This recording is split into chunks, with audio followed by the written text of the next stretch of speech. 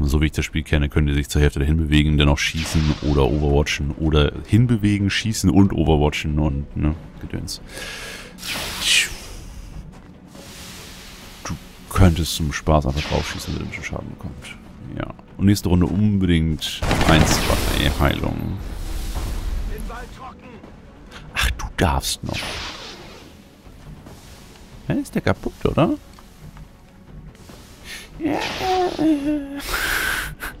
Also ich könnte versuchen, mit zweimal 50% zu schießen, von hier hinten aus. Hier hinten ist es nicht unbedingt sicher wegen der Deckung, die wäre da besser theoretisch, weil es eine Volldeckung ist, ähm, aber wegen dem Winkel. Hm. Wie gesagt, die können eventuell hier rauskommen und schießen. Und da würden sie ihn flankieren. Hier müssten sie schon bis hier ganz runter stiefeln, das schaffen sie nicht in einer Runde. Ja, lieber auf Nummer sicher. Weil er ist eh, ne? Er macht eh nichts mehr. Diese Runde. Das sollte okay sein. Und, und, und? Ja, geil. Okay.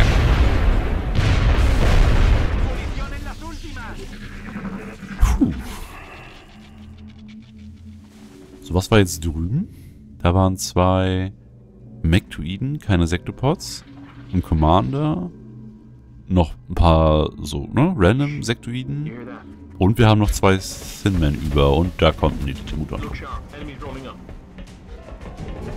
Mit drei Berserkern.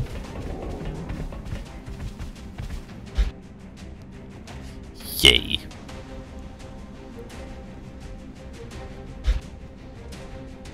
Was machen die Bots? Es wäre richtig toll, wenn die Bots hinten warten würden. Einfach so ein Overwatch für eine Weile. Und das tun sie sogar. Okay. Dann schnappen wir uns jetzt ein Berserker, holen den ran, um uns so etwas Zeit zu kaufen. Bitte treff. Gut. Dadurch stimmt er jetzt vor und die restlichen können auch drauf schießen und so, ne? Passt das dann auch nach und nach. Äh, jetzt kannst du den nämlich auch taggen, damit der Rest auch gut trifft. Ja, ja, lad nach. Ist alles gut. Du heilst bitte den doch etwas angeschossenen. Und gleich nochmal. Das muss auf Cap bei den ganzen Gefahrenquellen, die hier rumlaufen. So, das schaut auch gut aus. Wir haben noch drei Ladungen.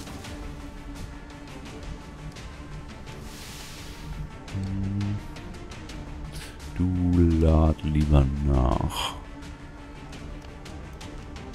Vorrücken und nachladen? Das, das hier gefällt mir, gefällt mir ehrlich gesagt überhaupt nicht. Weil da kommen gleich Mutons. Also nicht die Berserker, die, die laufen ja nur stumpf auf uns zu und machen Hulk Smash. Ähm, die Elite, die machen mir eher Sorgen. Weil die werfen auch Granaten mal ganz gerne. Und dann wäre das hier alles an Deckung auf einmal weg und wir hätten vier Leute von uns, die flankiert werden können. Das ist nicht gut. Nee, bleibt da hinten laden nach und gehen Overwatch, falls einer von denen zu nah kommt. So. Siegfried zieht sich mal zurück. In ordentliche Deckung. Und schießt ganz regulär auf den. Okay, du schießt auch regulär. Da kommt keine Granate, Rakete, sonst was rein. Ach, komm schon, Jungs.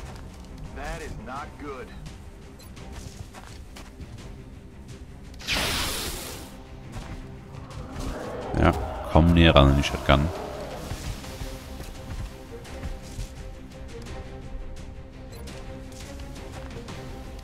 Ja, okay, vorbei. Was aber auch gut ist, den kann er nämlich ordentlich durchladen. Damit er in die Verlegenheit kommt, dass er nicht Doppelschuss setzen kann und keinen Nahkampf-Trigger und so weiter. Also, Reload für dich.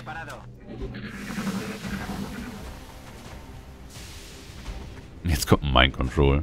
Das wäre es noch.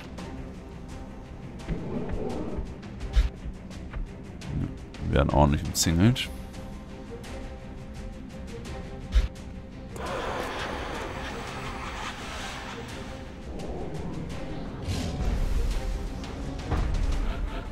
Schön noch mehr Gestampfe.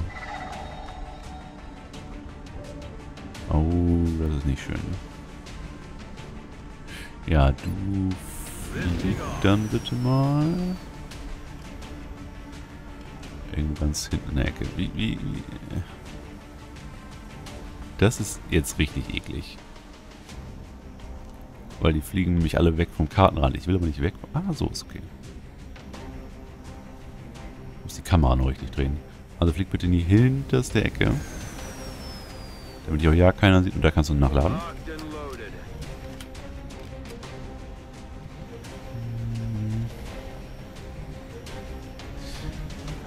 Komisch, dass die anderen Berserker jetzt nicht gekommen sind. Aber das nehme ich mal so hin. Bereite mich hier vor, dass der ordentlich seine Rakete schießen kann. Du baust hier Abstand auf, damit nicht zu viel Deckung auf einmal weggesprengt wird.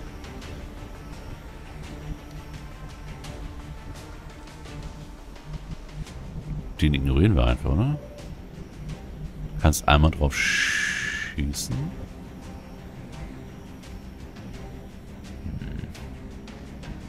Ich will jetzt nicht hier hingehen, dann sehen die uns alle auch noch. Ja, schieß einmal drauf und lade noch. Gut schön.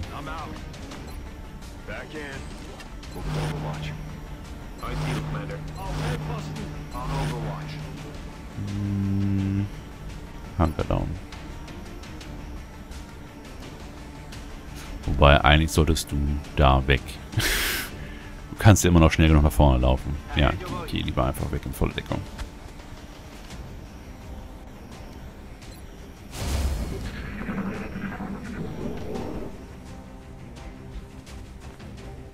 Ja. Da hier diese komischen Tanks zerstört wurden, wo die Menschen drin sind, ähm, haben nicht so viele Möglichkeiten vorzurücken, deswegen tun sie es gar nicht erst. Das ist, glaube ich, deren Problematik gerade. Ja, kann man nicht mehr durch das Schild durch.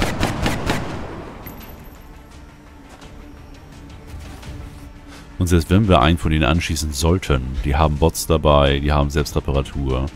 Wenn wir da nicht hinterher laufen und nachhaken, was Schaden angeht, dann ist das alles wie Katz. Das ist gut. Dass wir den gleich wegpoolen können.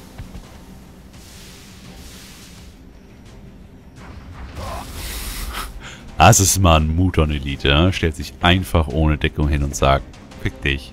Hier, friss Plasma. Da der Berserker jetzt auch verrückt, müssen wir uns auf den Berserker konzentrieren und nicht auf den. Ja, wobei der Schaden kommt gut rein. Der Berserker ist schon halb tot.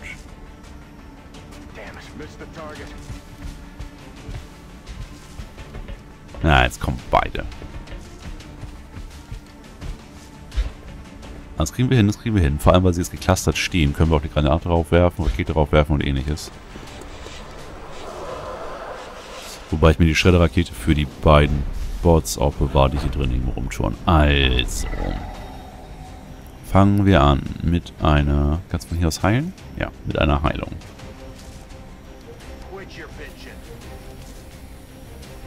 So. Eine zweite Heilung wäre eigentlich auch nötig, aber wir haben nur noch ein Ding. Das würde ich mir ganz gerne auch bewahren, falls einer komplett umkippt. Du hier.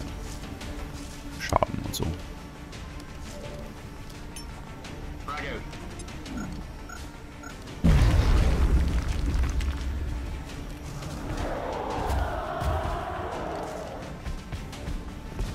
Dorkel.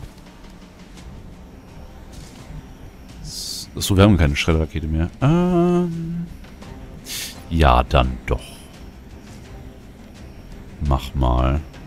Ich, ich traue der Feuerkraft da unten nicht ganz so sehr. Wobei einer ist weg durch ihn hier. Was ist der hintere? 69%. Die einen Ticken wieder vor. Rapid Fire auf den mit mehr HP. Ein popliger Punkt ist jetzt auch weg. Das sind dann 34 Schaden gewesen. Hammer. So, dann machst...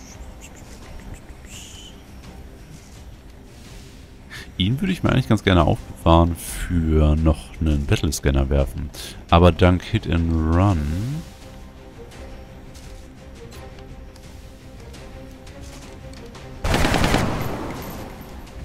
So, ist der jetzt Perfekt. Und wir können gleich den Battlescanner da hinten hinschmeißen, damit der Sniper ein ordentliches Ziel hat. So, wen siehst du? Du siehst nur den Berserker hier vorne. Dann schieß doch einfach mal den. Oh.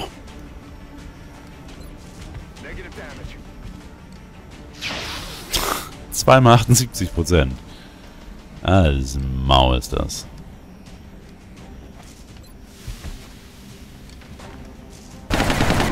So, komm ran und trigger die Nahkampffähigkeit, bitte. Ja, komm, but, but, but und trigger nicht. Ja, wollten doch alle veräppeln heute. So. Alle drei Berserker down. Und wir haben nicht mehr so wirklich viele Ziele. Oh, schöner Crit. Kriegst du jetzt noch kaputt? Ja, geil. So, dann darfst du jetzt das Spielchen machen mit dem Ball.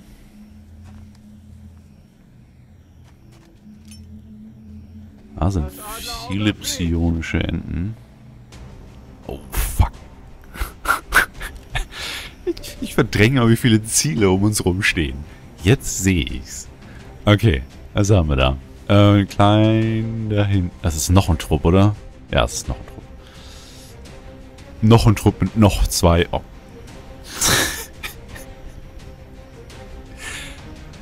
also ich war mir bewusst, dass in einem gelandeten großen UFO viele Aliens drin sind. Vor allem auch starke Aliens. Aber das ist jetzt echt Overkill.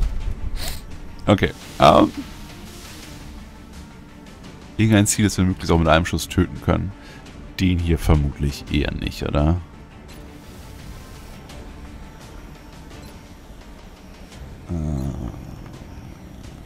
100% Crit-Chance. Ich kann das nicht wirklich gut erkennen gerade. Wer da getargetet ist, das ist zu weit weg. Also ich würde gerne den Schildmacher, Gedankenkontrollierer und allgemeinen Booster da ausschalten.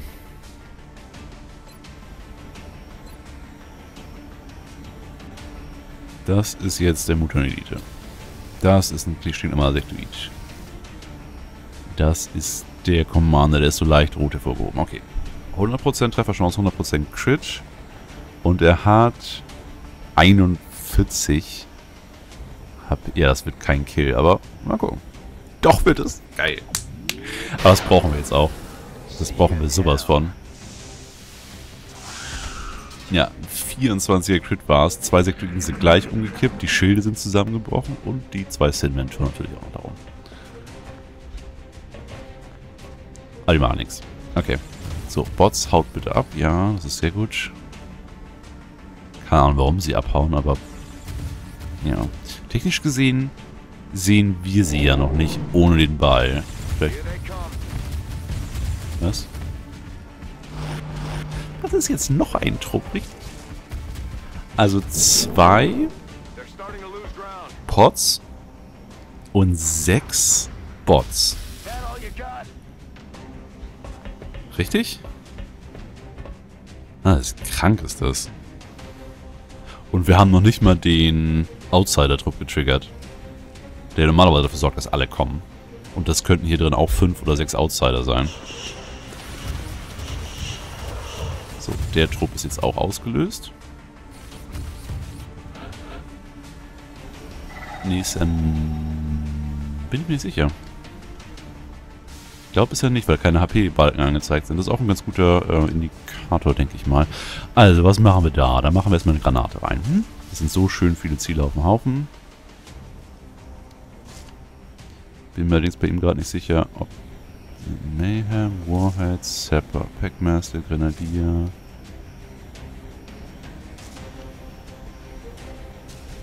Du hast den C-Wegsprengen-Perk nicht. Oh. Dabei bist du doch schon so ein hoher. Was habe ich denn dafür reingetan? Ja, sehe ich nicht. Na gut, dann wird der hier nicht mit erwischt, sondern wir werfen direkt in den Cluster. Ja, komm, so, ne?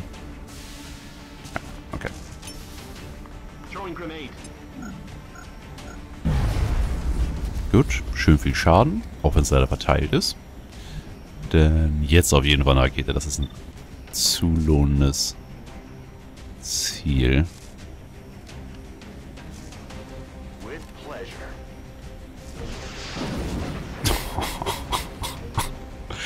22, 31, 45 Schadenspunkte. Auch wenn sie verteilt sind. Sehr heftig. Was haben wir noch so alles Schönes? Wie eine Elite da einfach so rumsteht. Du siehst nur ein Ziel und das noch nicht mehr wirklich gut. Ähm, die können Granaten nicht so weit werfen. Ne? Das heißt, wir könnten theoretisch bis hier nach vorne rücken.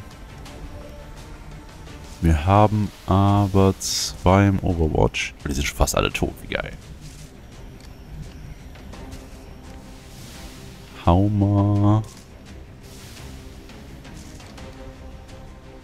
Wen habe ich da gerade als Ziel? Bot. Den Bot kriegen wir nicht kaputt. Den da kriegen wir kaputt. Ah, Gibt's doch gar nicht. gibt's doch gar nicht. Ähm, hier, jetzt aber. 90% Medic. 90. Dankeschön. Das ist schon mal ein Overwatch weg.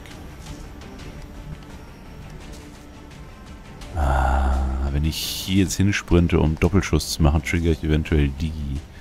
Das, das muss nicht unbedingt sein. Von hier hinten hast du allerdings nur eine 35% Trefferchance. Was haben wir noch so?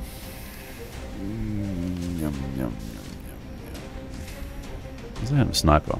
Ja, Sniper. Kümmer dich mal um... Nicht die. Nee, nee, nee, nee. Die hinten sind allzu weit weg, die können nichts machen. Die, die hier sollte ich auf keinen Fall anschließen, weil dann werden sie ausgelöst. Ich müsste schon hier vorne jemanden nehmen. Allerdings haben die alle zu wenig HP, dass es sich wirklich lohnen würde. Außer vielleicht bei dir.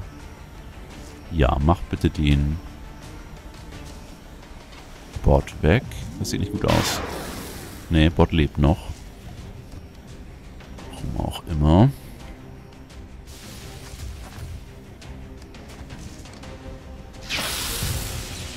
Bot down.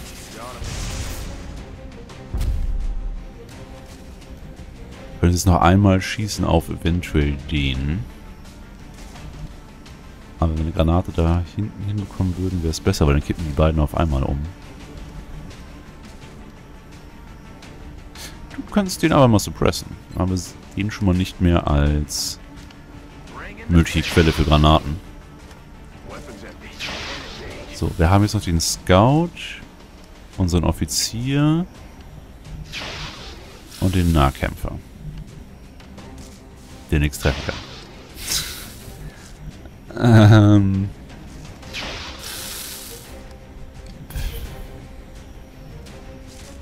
Ja.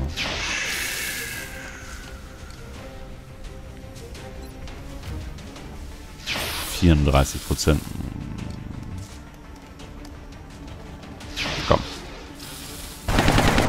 Schade. Ich muss bald nachladen. Justiere Zielvorrichtung. 13 Prozent.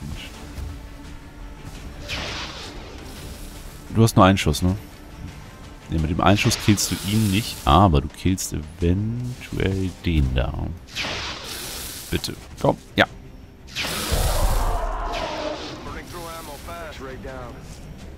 So. Also er wird dann vermutlich hierhin gehen, wenn er das kann und von da aus schießen. Er kann auch noch schießen. Und er ist suppressed, ist okay. Also die beiden könnten wehtun, weil die können beide auch Granaten werfen. Äh, der Trupp wird eventuell ausgelöst, weil sich nähert. Darf dann aber nichts machen. Und die anderen, die ausgelöst sind, also die drei hier, sind zu weit weg, um irgendwas anzustellen. Sieht soweit also... Okay, was hatten wir hier hinten noch irgendwas? Nee, ich glaube, wir sind alle abgehauen in die Richtung. Gab es nur ein Command oder waren das zwei? Das ist jetzt nämlich richtig übel, wenn irgendwo von drin im UFO, weil der Commander abgehauen ist, jetzt eine Gedankenkontrolle kommt. Äh, ja, ja gut, das müssen wir, müssen wir im Auge behalten. Ähm, darf nicht dahin gehen. Ja, nur noch der Soul ist dran. Ah.